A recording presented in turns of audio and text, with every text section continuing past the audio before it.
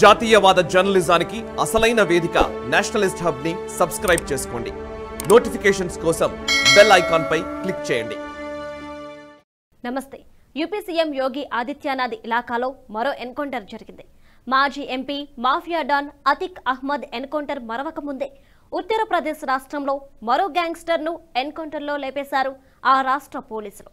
భయంకరమైన గ్యాంగ్స్టర్ అనిల్ దుజానాను ఆ రాష్ట్ర టాస్క్ ఫోర్స్ పోలీసులు గురువారం మధ్యాహ్నం మట్టుబెట్టారు. అనిల్ దుజానా గౌతమ్ బుద్ధ నగర్ జిల్లాలోని బదలాపూర్ పోలీస్ స్టేషన్ పరిధిలో ఉన్న దుజానా గ్రామానికి చెందిన వ్యక్తి. వాస్తవానికి ఇతడి అసలు పేరు అనిల్ నగర్.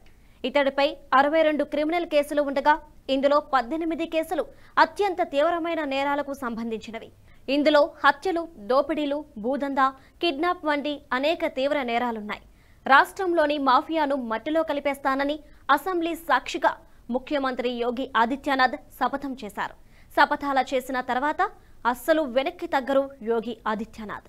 అతీక్ అహ్మద్ కుమారుడు అసద్ అహ్మద్ ఎన్కౌంటర్ అనంతరం రాష్ట్ర టాస్క్ ఫోర్స్ పోలీసులు చేసిన రెండవ పెద్ద ఎన్కౌంటర్ ఇదే.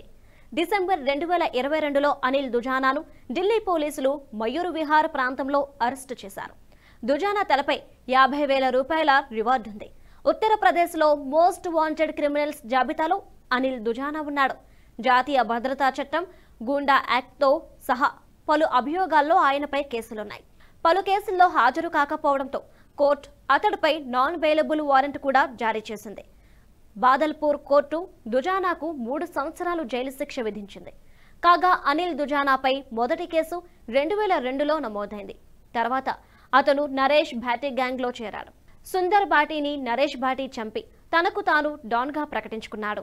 ఈ వీడియో మీకు నచ్చినట్టయితే లైక్ చేయండి పది మందికి షేర్ చేయండి అలాగే కామెంట్ల రూపంలో మీ అభిప్రాయాలను మాతో పంచుకోండి. నేషనలిస్ట్ హబ్ గ్రూప్ ఆఫ్ ఛానల్స్ను సబ్స్క్రైబ్ చేసుకుని తెలుగునాట జాతీయవాద జర్నలిజాన్ని ప్రోత్సహించండి. ఈ వీడియో కింద ఉన్న బెలైకన్ పై క్లిక్ చేయడం మర్చిపోవద్దు.